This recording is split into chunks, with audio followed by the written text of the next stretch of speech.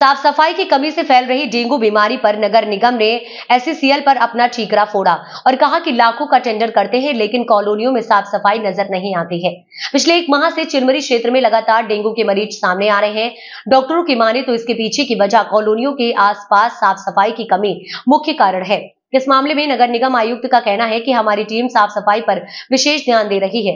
समय समय पर दवाइयों का छिड़काव, मच्छरों से बचाने के लिए चरणबद्ध तरीके से फॉगिंग कराई जा रही है। उक्त कार्य क्षेत्र के 40 वार्डो में किया जा रहा है, किंतु इस दिशा में एस ध्यान नहीं दे रहा है। एस साफ़ सफ़ाई को लेकर बिल्कुल भी चिंतित नहीं है। एस टेंडर ज़रूर निकाल रहा है, लेकिन सफ़ाई कॉलोनियों में साफ़ सफ़ाई नहीं हो रही है। निगम आयुक्त ने आगे कहा है की हम नोटिस देंगे की जल्द एस कॉलोनियों की सफ़ाई की जाए। अस्पतालों में टेस्टिंग के दौरान सामने आ रहे डेंगू के मरीजों को लेकर C H O C Chirmiri in charge doctor Abhishek Tiwari ने डेंगू के लक्षणों की पहचान होने पर तत्काल नजदीकी अस्पताल में पहुँचने की सलाह दी ताकि डेंगू के बढ़ते प्रकोप को रोका जाए।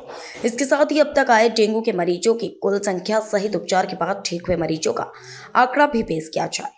फ़िलहाल साफ़ सफ़ाई के मुद्दे पर दोनों संस्थान एस सी और नगर निगम एक दूसरे पर ठीकरा फोड़ने में लगे हैं। किंतु साफ़ सफ़ाई नियमित कार्य है, जो दोनों संस्थान की ज़िम्मेदारी है। अब आगे देखना होगा कि खबर लगने के बाद दोनों संस्थान सफ़ाई को लेकर कितना सक्रिय होते हैं।